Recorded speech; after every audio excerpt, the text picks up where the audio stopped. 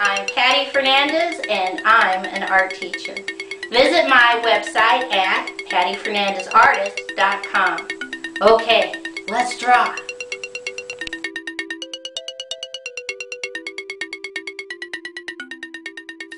Today's project is how to draw six facts about the sun. I take three fingers from the top in the center and underneath I put a dot. And from that dot I'm going to draw a curved line all the way around. Keep going, keep going, and connect. Now right above, I'm going to start curved line up, down, up, down, up, down, up, down, up, down, and leave it floating. Curve line up, down, up, down, up, down, up, down, up, down, and leave it floating. Come to the opposite side. Up, down, up, down, up, down, up, down, up, down. Leave it floating. And let's continue up, down, up, down, up, down, up, down, up, down. Leave it floating. Starting over here on the left, I'm just going to draw a straight black line. Leave it floating.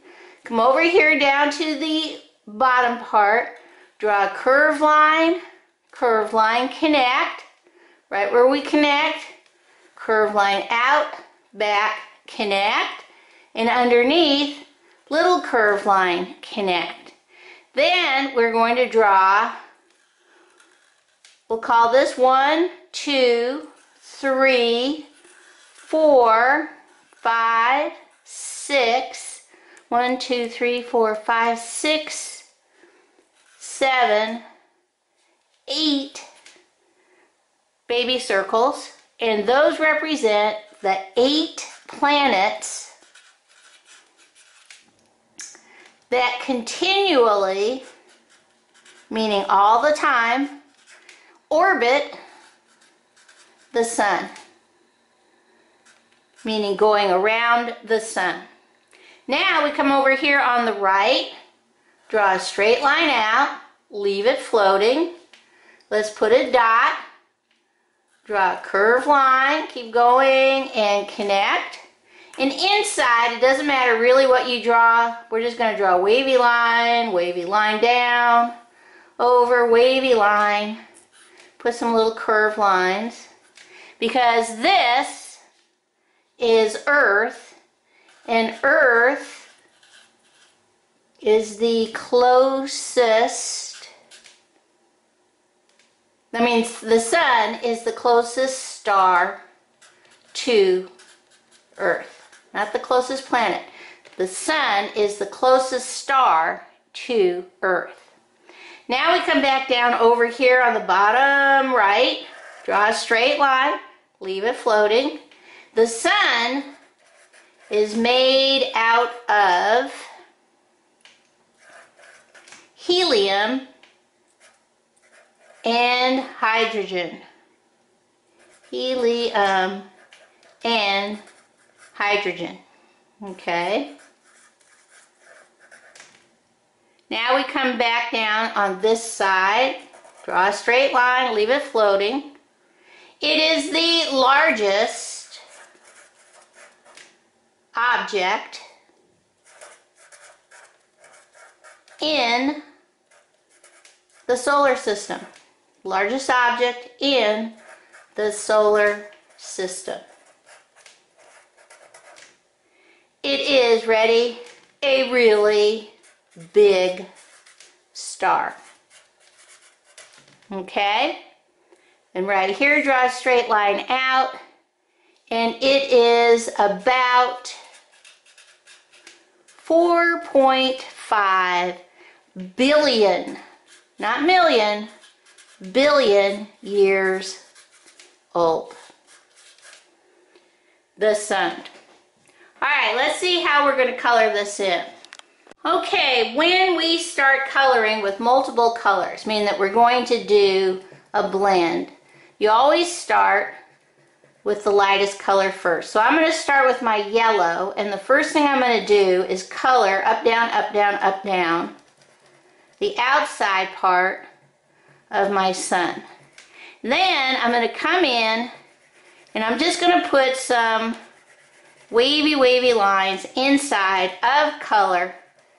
I'm not going to be too concerned about it because I know I'm going to make different colors over it. Next, I went through my crayons and I found a yellow orange. Now with my yellow orange, I'm going to go and redo my curved lines going around my sun and I'm going to add some wavy lines of color. This is how you build up what you want the surface of your sun to look like. Next, that was yellow orange.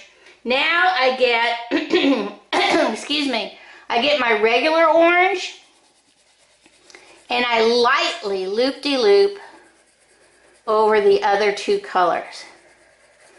Not so dark that you can't see them anymore, but now I'm filling in any of that white paper space.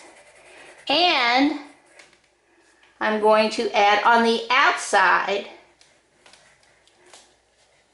some color just to add a little bit more color, pops of color. Okay. Last but not least, I'm going to take my red orange. And this, I'm just going to do some waves, wavy lines on top. And I'm going to use this as my color for my straight lines that go out to my facts. And then in between, I'm going to put some little straight lines for emphasis so that you know this is shining brightly. Okay? All right, good. Now, starting over at the top where my eight planets are, you can color these in any way you want. But I'm going to use blue. I'm going to use green. Not in any order. Maybe I'll make one of these green. Blue, green, turquoise. And red, orange. Just to fill in some color. Next, I'm going to take my green and color in these little wavy lines. They call Earth the blue marble because when you see it from far away, it looks like a big blue marble. So I'm going to use my green, I'm going to use my blue to color those spaces in. And that's basically it because the rest of these are facts.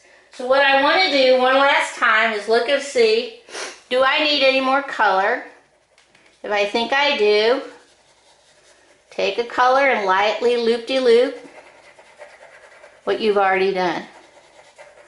Okay, let's see what this looks like all colored in. Okay, here is my sun all colored in.